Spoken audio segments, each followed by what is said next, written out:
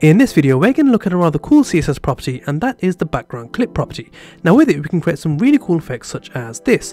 So this here is a normal H1 that just says uh, Dev Dreamer right here and we've actually clipped an image to this text so that the image is being shown through the lettering giving this really cool effect here. Pretty cool. We can of course do the same thing with moving images. I'll show you how to do this.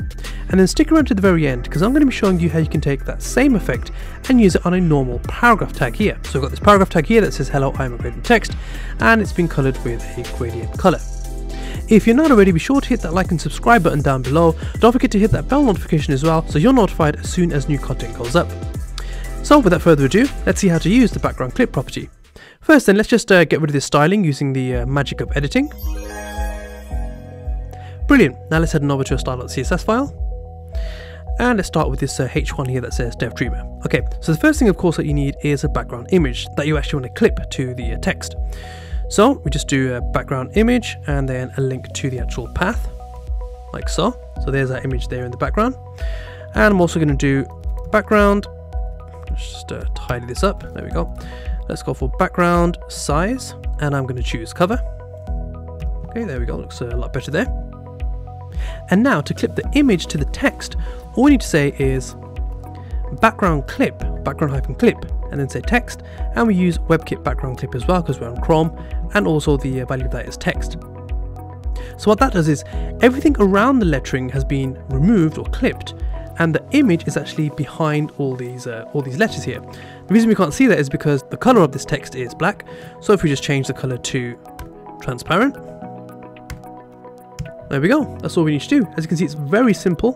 Okay, just a, literally a few lines of, uh, of, CSS, and you end up with a really cool, really stunning effect uh, like this. As you can see, that works really, really well. Okay, let's now take a look at the second one. So this is now going to be the moving image, or a GIF, or GIF, however you say it. And again, all we need is our background image. Let's uh, paste that in. Scroll down here. There we go, there it is. And again, we'll do background size go for cover. And just like before, to clip the image to the text, we simply do background hyphen clip text, and of course WebKit background clip as well, value text. So there we go, it's been clipped to these uh, letters here. And then finally, to see the actual image behind the letters, we just change the color from the default, which is black, to transparent. And there we go. That looks uh, looks pretty cool, doesn't it? You don't want to stare at that for too long, though. You might go uh, might go a bit crazy. And finally, let me show you how to do this with normal paragraph text as well. So here we have a normal p tag. Now for this, the background image that we actually use can be a normal image that's just a, a gradient color image, or you can add your own gradient, and that's what we're going to do for this example.